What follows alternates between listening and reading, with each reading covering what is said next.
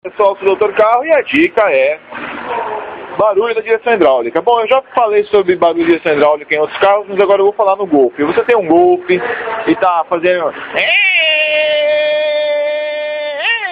quando acelera, quando estressa, na marcha lenta. Somente se você trocou o óleo começou a fazer o barulho, ou deu algum vazamento e depois surgiu esse barulho, o mecânico está até condenando aí a bomba da direção hidráulica, porque o barulho é insuportável.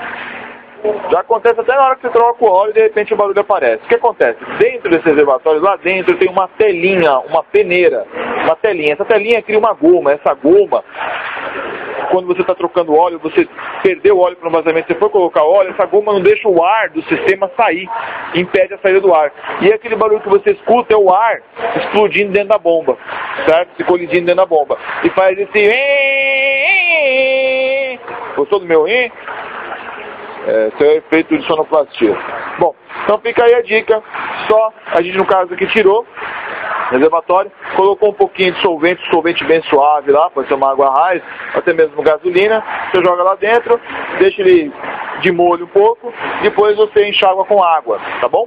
Enxagou com água, pode até enxaguar de cara com água, porque a água também tira bem a goma e esse barulho some, tá bom?